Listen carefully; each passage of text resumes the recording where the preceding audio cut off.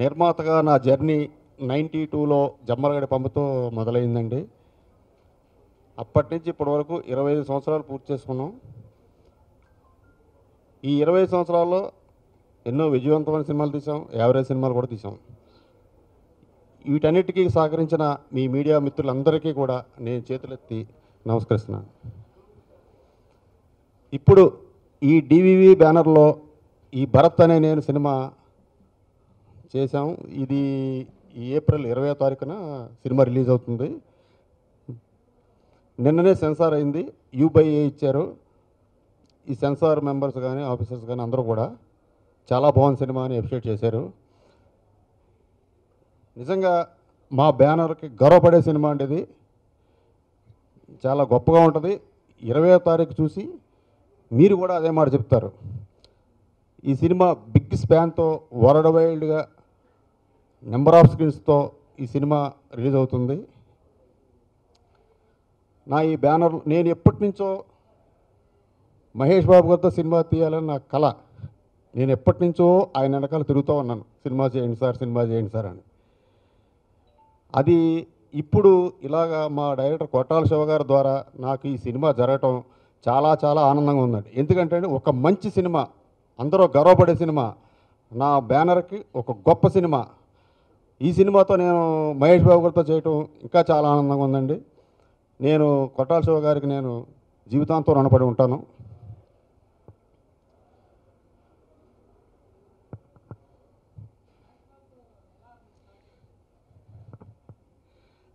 నేను ఎక్కువగా నేను ఇప్పుడు ఈ సినిమా ఇండస్ట్రీకి రావడానికి నన్ను ఇన్స్పిరేషన్ ఏంటంటే నేను చిన్నప్పుడు మా ఊర్లో ఉన్నప్పుడు మాది వెస్ట్ గోదావరి తాళ్ళపూడి మా మా ఊరు గోదావరి పక్కన.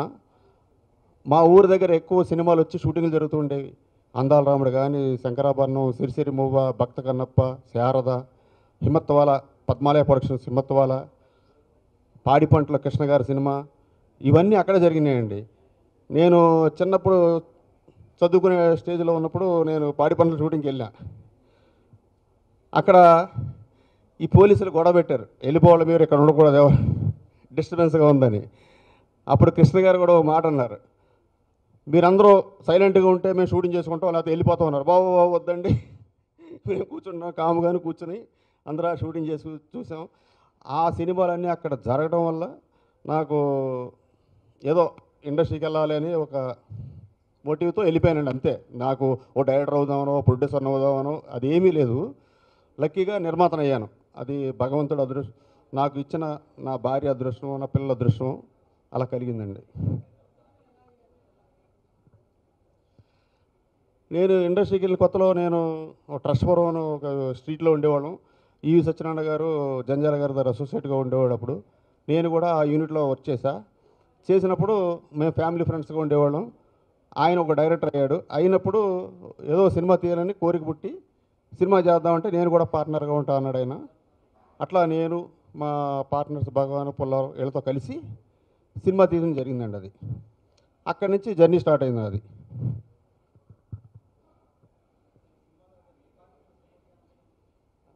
ఏండి? అసలు ఏ పార్టీకి సపోర్ట్గా ఉండదండి ఇది. అంటే ఒక మంచి సీఎం సీఎం ఎట్లా ఉండాలి అనే దాని మీద ఉంటుంది తప్ప ఇది రెండు రాష్ట్రాల్లో కలిసి ఉన్నప్పుడు జరిగిన కథలా ఉంటుందండి ఇది. ఎవరిని క్రిటిసైజ్ చేసి కానీ ఇంకోటి కానీ ఏముండదు మంచి మెసేజ్తో ఈ సినిమా ఉంటుందండి.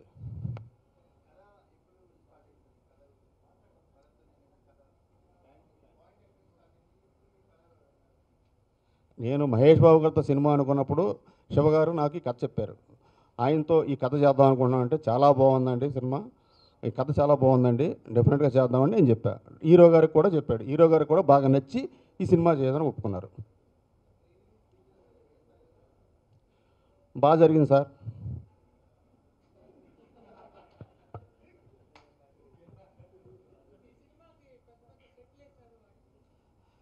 అంటే ఈ సినిమా కథ ఉన్నప్పుడే ఈ సినిమా డిమాండ్ ఏమేం చేస్తుంది అనేది అన్నిటికీ కూడా కాంప్రమైజ్ అవ్వకుండా సినిమా చేద్దాం అనుకున్నామండి. అంటే ఒక సీఎం కాబట్టి అంటే అసెంబ్లీ అంటే సినిమా అంతా అసెంబ్లీ ఉండదు కానీ అసెంబ్లీ అనేది ఒక పార్ట్ ఉంటుంది చిన్నది. అసెంబ్లీ అనేది కొంచెం బాగా చూపించాలి. అప్పుడే కదా జనం కనెక్ట్ అవుతారు. అసెంబ్లీ అనేది రెండు కోట్లు పెట్టి సెట్ చేసామండి. మీరు చూస్తారు కదా రేపు. అంటే చాలా గ్రాండ్గా ఉంటుందండి అసెంబ్లీ. అట్లా ఒక సాంగ్ చేసాం వచ్చాడయా సాంగ్. అది ఎక్కడో చేద్దాం అనుకున్నాం. ఒక టెంపుల్ బ్యాక్గ్రౌండ్లో సాంగ్ అది. ఇక్కడ ఒక సెట్ వేసి చాలా గ్రాండ్గా రిచ్గా నాలుగు కోట్లు ఖర్చు పెట్టి తీసిన సినిమా సాంగ్ అండి అది.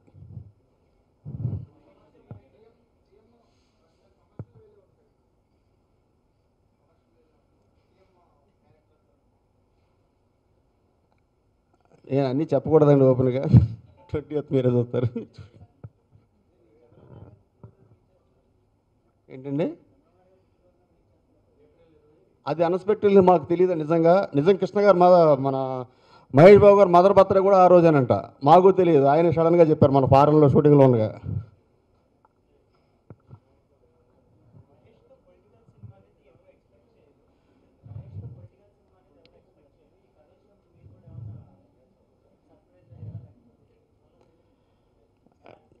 అంటే నిజంగానే సర్ప్రైజ్ అయ్యానండి. అంటే ఒక మహేష్ బాబును ఒక సీఎంలో చూస్తే ఎలా ఉంటుంది?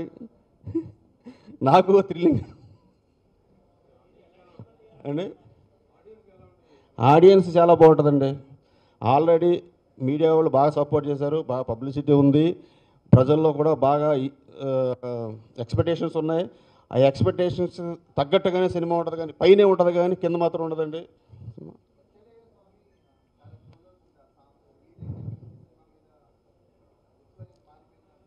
మీకు చాలా చాలా బాగుంటుందండి ఆ సాంగ్.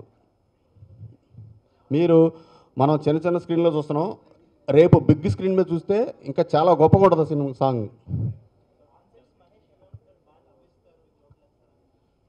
సార్ నేను బన్నీ గారితో సినిమా చేశాను రామ్ చరణ్తో చేశాను రవితేజతో చేశాను చాలా పవన్ కళ్యాణ్ గారితో చేశాను అందరితోటి బాగానే ఉంటాను నేను.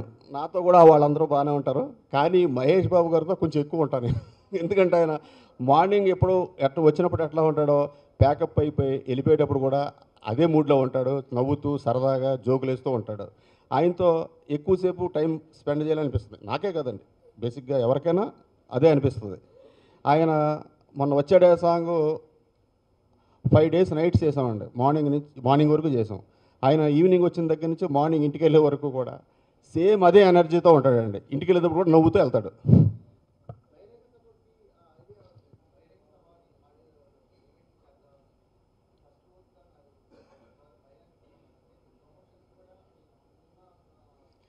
అది అంటే సీఎం బేస్డ్ కథ కాబట్టి బహిరంగ సభలో ఊరికి పేరు పెట్టాం ఆడియో ఫంక్షన్కి. ఎవరిని ఏమి చూపించమండి ఇందులో?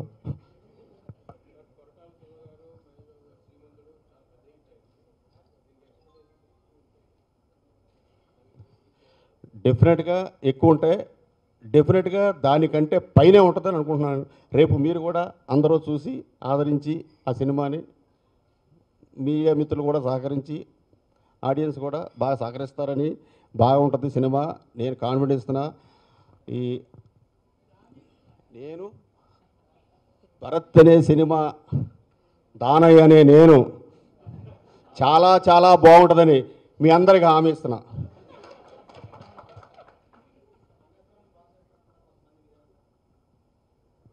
సార్ నేను అట్లా మాట్లాడకూడదు సార్. ఎందుకంటే ఏ సినిమాకి ఆ సినిమా?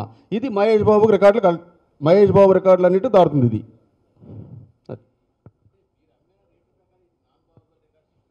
సార్ బాహుబలి అనేది మనం రెవెన్యూ అనేది మనం ఏం చెప్తాం సార్? ఆదరణ బట్టి ఉంటుందండి. ఇప్పుడు నేనేమన్నా జడ్జ్ చేయడానికి సార్ దేవిశ్రీ ప్రసాద్ చాలా అద్భుతంగా చేశారు సార్. పాటలు కానీ ఆర్ఆర్ కానీ ఎక్స్ట్రాడినరీగా చేశారు సార్. మీరు ఆల్రెడీ సాంగ్స్ ఆల్రెడీ రిలీజ్ అయినాయి మీరు విన్నారు. ఆర్ఆర్ కూడా చాలా ఎక్స్ట్రాడినరీగా చేశాడు. రాత్రి కూడా ఫోన్ చేశాడు. అసలు మళ్ళీ మళ్ళీ చూస్తున్నాను సార్ సినిమా అని. మళ్ళీ నేను చూశాడంట మిక్సింగ్ అంతా అయిపోయింది. నేను మళ్ళీ చూశాడంట కావాలని. వాళ్ళ మ్యూజిషియన్స్ అందరితో అందరూ క్లాప్స్ అంటండి. చెన్నై నుంచి ఫోన్ చేశాడు రాత్రి నాకు. అంత ఎగ్జైట్మెంట్ మా సినిమా పనిచేసిన art director cameraman Thiru Ravi K Chandran అందరూ కూడా బాగా కష్టపడి పనిచేశారండి. ఈ సినిమాకి నాకు సినిమాకి పనిచేసిన ప్రతి technician direction department managers production boys light mans అందరికీ పేరు పేరున కష్టపడి పనిచేశారు రాత్రింబావుళ్ళు నేను అందరికీ కూడా మనస్ఫూర్తిగా ధన్యవాదాలు తెలుపుకుంటున్నాను. కీరా అద్వాని తెలుగులో హిందీలో చేసిన అమ్మాయి. తెలుగులో ఫస్ట్ టైం చేస్తుంది. కానీ ఒక నార్త్ ఇండియన్ లాగా ఉండదండి. ఆ అమ్మాయి బిహేవియర్ చాలా చాలా చాలా మంచిది. అమ్మాయి. ఆ అమ్మాయి డెఫినెట్గా ఈ సినిమా చూసి మీరందరూ ఎప్రిషియేట్ చేస్తారు. ఆ అమ్మాయికి తెలుగులో మరిన్ని అవకాశాలు వస్తాయని నేను గట్టిగా చెప్తున్నానండి. ఆ అమ్మాయి చేస్తుందో చేదో నాకు తెలియదు కానీ తెలుగులో మాత్రం నెక్స్ట్ సినిమా కూడా మేమే చేస్తున్నాం.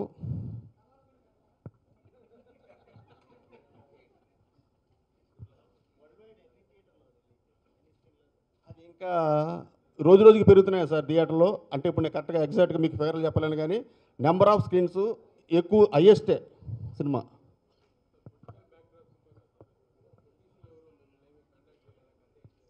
మమ్మల్ని ఎవరు కాంట్రాక్ట్ చేయలేదు. కానీ మా డైరెక్టర్ శివగారు కూడా అలా కాంట్రవర్సీ సినిమాలు తీయడు.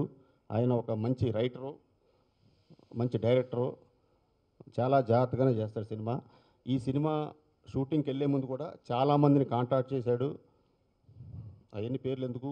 ప్రతి సీను ఈ సీన్ ఎట్లా ఉంటే ఏంటండి? ఎట్లా ఉంటే ఏంటండి? అందరినీ కాంటాక్ట్ చేసే ఆయన ఏ కాంట్రవర్సీ లేకుండానే చాలా జాగ్రత్తగానే సినిమా తీశారు.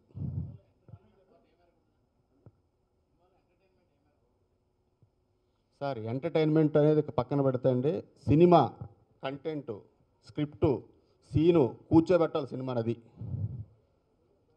ఇప్పుడు రంగస్థలం కూడా మూడు గంటలు ఉంది మూడు గంటలు ఉందన్నారండి చాలామంది. చూడలేదండి ఇవాళ? బ్లాక్ బస్టర్ సినిమా అండి అది. అంతే అండి. ఇది మాది కూడా అంతే. మాది సినిమా రెండు గంటల యాభై మూడు నిమిషాల సినిమా అండి. మీకు ఎవరికి అనిపించదు. అరే తొందరగా అయిపోయింది అనిపిస్తుంది. అట్లా ఉంటుందండి సినిమా.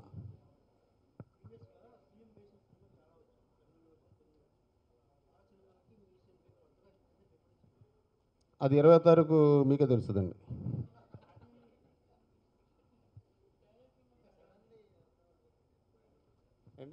బోయపాటి గారు చరణ్ గారిది ఆల్రెడీ రెండు షెడ్యూల్ జరిగిందండి. రేపు ఇరవై ఒకటి నుంచి చరణ్ గారు ఎంటర్ అవుతున్నారు. అది స్టార్ట్ అవుతుందండి ట్వంటీ ఫిఫ్త్ నుంచి మళ్ళీ థర్డ్ షెడ్యూల్. రాజమౌళి గారిది కూడా ఈ ఇయర్లోనే స్టార్ట్ అవుతుంది. అంటే ఎగ్జాక్ట్లీ నేను అప్పుడని చెప్పలేను కానీ ఇయర్లోనే స్టార్ట్ అవుతుందండి. ప్రీ ప్రొడక్షన్ జరుగుతుంది. అది చేయటం నిజంగా నాకు చాలా గర్వం అండి. ఎందుకంటే ఒక రాజమౌళి గారితో ఒక సినిమా చేయడం అనేది నా డ్రీమ్ ఎప్పటి నుంచో. ఆయన ఎప్పుడు టూ థౌజండ్ సిక్స్ నుంచి ఫాలో చేస్తున్నాను ఆయన సినిమా చేయాలని. అది ఇప్పటికి వచ్చింది నిజంగా హ్యాట్స్ ఆఫ్ రాజమౌళి గారు. సార్ అవన్నీ డైరెక్ట్ గారు చెప్తారు సార్. అది భారీ బడ్జెట్ ఫిలిం అండి అది. ఒకసారి మీ మీడియా మిత్రులందరికీ ధన్యవాదాలు చెప్పుకుంటానండి ఏమైనా తప్పులు మాట్లాడుంటే క్షమించండి. సారీ అండి